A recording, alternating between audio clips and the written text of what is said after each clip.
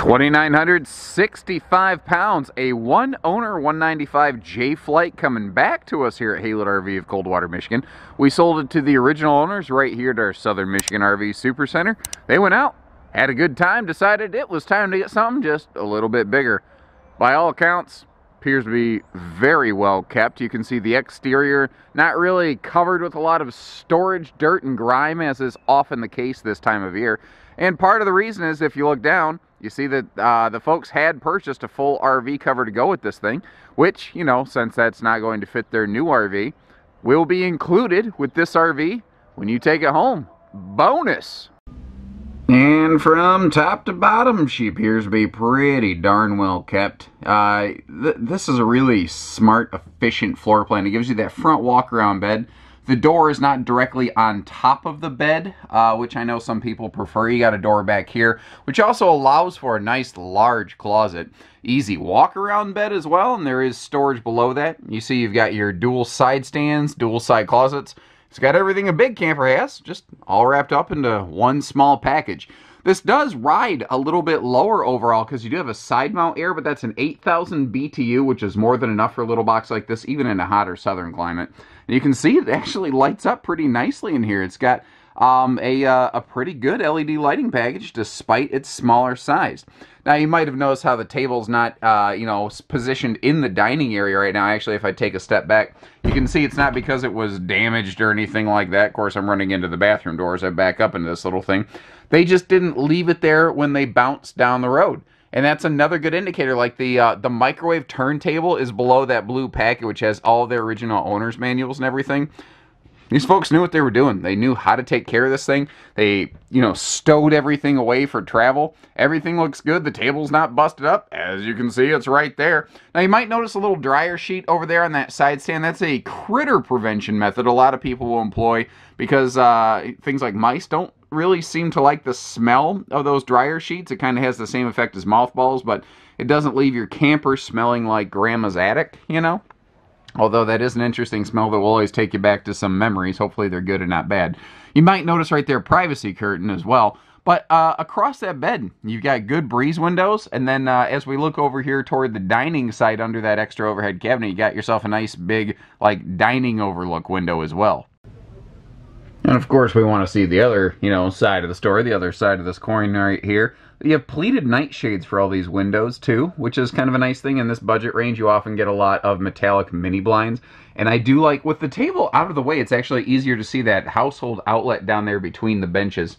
Now you can lift these benches up and, uh, well the seating rather, and there is storage below them. And you can throw that table down in between them and convert it into a little sleeper space. So you might have a little grandkid guest sleeper. It is definitely not a big space, but big enough to get the job done.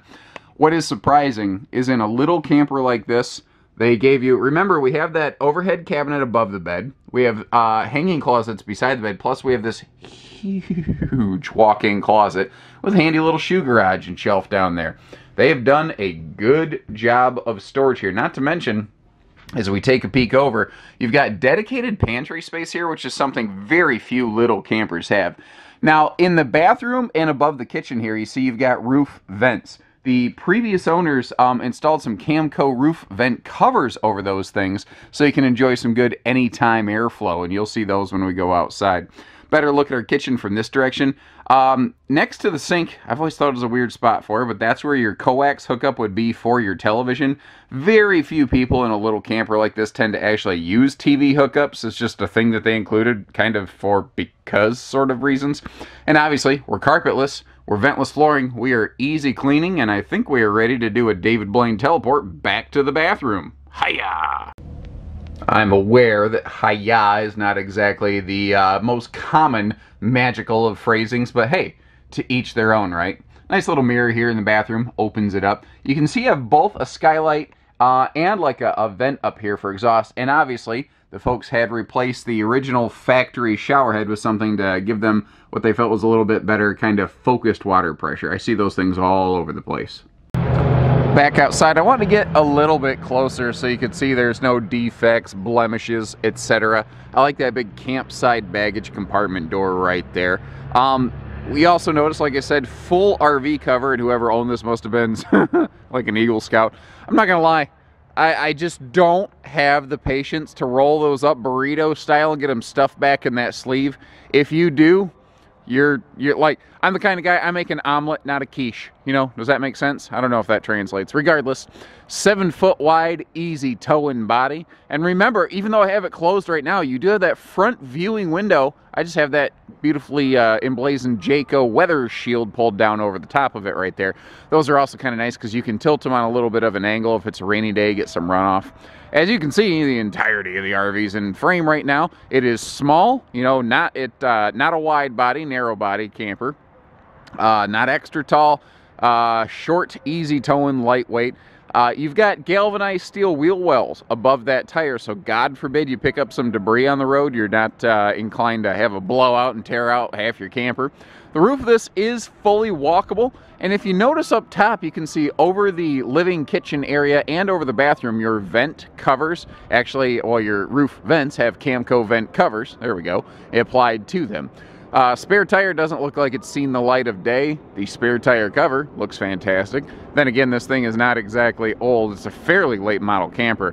I give this thing, I don't know, two weeks? I give this thing about two weeks at our location and then it's probably going to be picked off. I don't expect it to last much longer than that.